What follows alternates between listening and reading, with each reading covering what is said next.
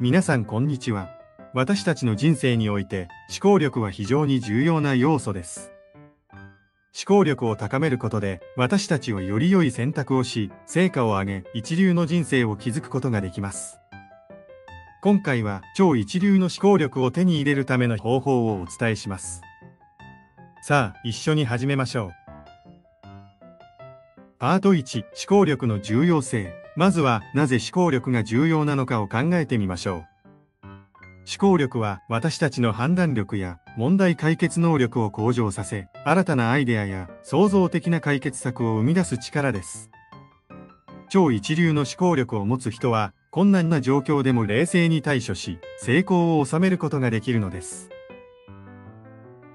パート2、超一流の思考力の特徴。では、超一流の思考力を持つ人は、どのような特徴を持っているのでしょうか？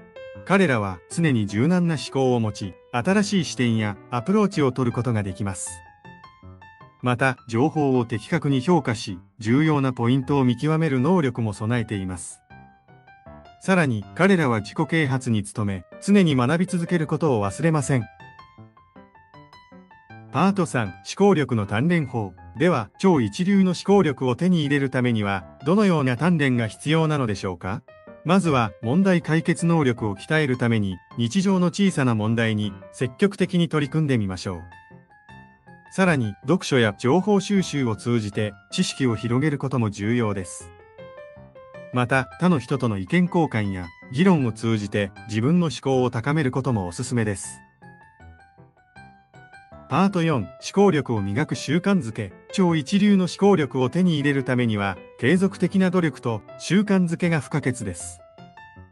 毎日少しずつでも思考力を鍛えるための活動を行うことが大切です。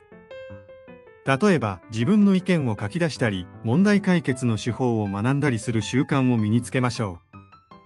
また、心のクリアさを保つために、瞑想やマインドフルネスの練習もおすすめです。パート5、成功を収めるための思考力の活用。最後に思考力を活かして成功を収める方法についてお伝えします。超一流の思考力を持つ人はビジョンを持ち目標に向かって着実に進んでいきます。彼らは自分自身に挑戦を与え、リスクを恐れずに行動する勇気を持っています。また、チームワークや協力を大切にし、他の人との相互作用を通じて成果を上げます。超一流の思考力を手に入れることは、私たちの人生を変える大きな一歩です。日々の鍛錬と習慣づけを通じて、あなたも超一流の思考力を身につけ、成功と成果を収めることができるでしょう。ぜひ、この動画で学んだ方法を実践し、素晴らしい人生を手に入れましょう。